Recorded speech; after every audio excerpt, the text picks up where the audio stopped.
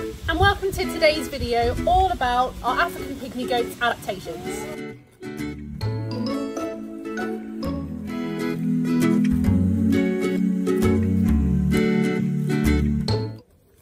So African pygmy goats actually have quite a few adaptations. Let's firstly talk about the one that most people think of, which is the Bangles, you licking my arm. let's think about, um, let's firstly talk about the one that most people think of, which is their really, really incredible feet. African pygmy goats have got two toes. They are an even-toed ungulate, which means that they have got hooves. The word ungulate literally means a hoofed mammal.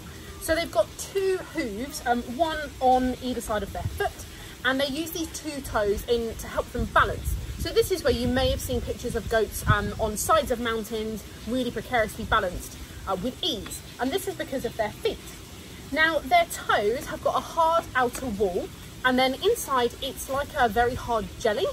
We actually trim their hooves to make sure that they stay nice and healthy. If we didn't trim their hooves, they would start to overgrow and they'd um, end up with walking problems and it would be quite painful for them. So we trim their hooves and we literally use something that looks a little bit like um, secateurs to trim the outer hard shell and then we use a knife to pare back the jelly bits, make sure their feet are nice and um, level. Now we have to do this more in winter because the goats aren't um, on such hard surfaces. Obviously it's more for us rainy in winter, which means that they're not wearing their feet down as much. When um, it's spring and summer and the, the ground's a little bit harder, they wear down their feet a lot more. Hi Bangles, please don't knock it over. There we go, good girl.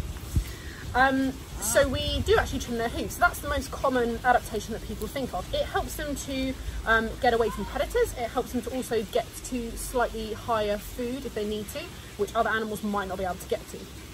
So it's a great adaptation to have. Another thing goats are known for is the shape of their pupils because they have rectangular pupils. This helps them to see further behind them. So if a predator was to come up behind them, they would see it a little bit quicker than an animal that had round pupils that were facing forwards. So it means that their line of vision is in front as ours is, but it also goes further back than ours does, which helps to keep them safe when they are grazing or when they're sitting and ruminating. Now, as we discussed yesterday, they are ruminants, they have got four stomachs, and this helps them to eat a much harsher um, forms of vegetation that other animals wouldn't be able to eat. So obviously in their diet, they eat a lot of grass, they eat um, a lot of shrubs, anything that they can possibly find. They even eat brambles and stuff in the UK when they're out grazing. So they can um, digest very difficult plant matter that some animals might not be able to digest, which also helps them to survive in Africa where they come from. Is that nice? They do have horns, as you can see. Now, Bangles, her horns, um, their horns continuously grow. Um, her horns are quite a nice size at the moment. The boys, their dad had a very, very big horns. So his horns were so big that he could scratch his bum by just doing this with his head. That he had massive horns, but he wasn't an, a West African pygmy goat. He was a different breed. So the boys may get slightly bigger horns. Typical African pygmy goats would have horns the same size as Bangles, so she's beautifully demonstrating whilst having a little bit of a scratch. As you can see, Paul's not very happy about the fact that he's not getting attention and Bangles is, so now he's got to have attention too. My love, yeah. Their mouths are also very peculiar. They have teeth on the bottom of their jaw, but they don't have teeth at the top. They actually just have like a fleshy pad. They only use teeth to uh, pick the grass or pick the browse that they're looking for.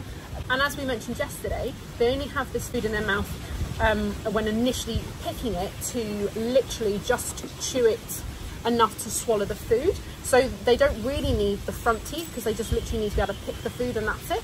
They do have molars, they have big teeth at the back um, for chewing as we do, which obviously they use when they chew the cud, but they don't really have a need for um, a set of front teeth, one at the top and one at the bottom. They only use the ones on the bottom. So that is another adaptation that they have. So I hope you have enjoyed this video learning about the goat's adaptations. Tune in tomorrow to see some of the enrichment and see what they've been getting up to when they've been going to have a look around the school. Thanks for watching guys, bye!